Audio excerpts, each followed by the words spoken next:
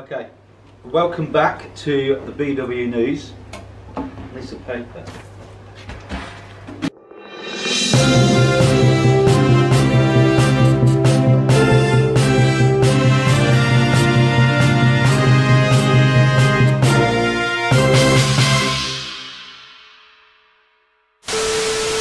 Anyway, so just in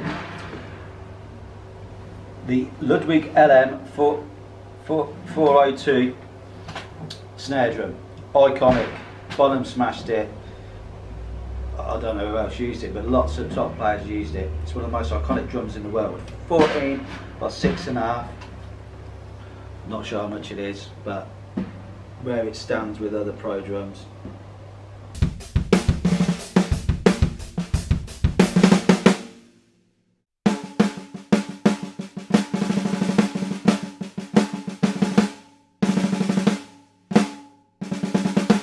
So it's 1.7 millimeter seamless, se seamless, seamless aluminium shell, 2.3 mil triple flanged hoops.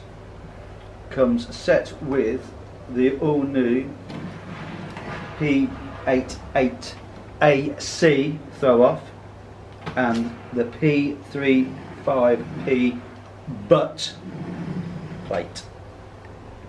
Fitted to standards with the Ludwig Weathermaster top heads. And the Weathermaster snare side. Made in the States. Um, Ludwig snare strainer, the standard. Six and a half inch. Six and a half in depth.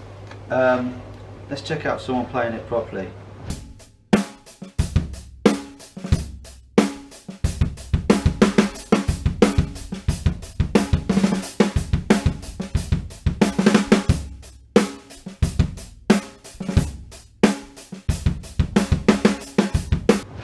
Apologies for the poor review.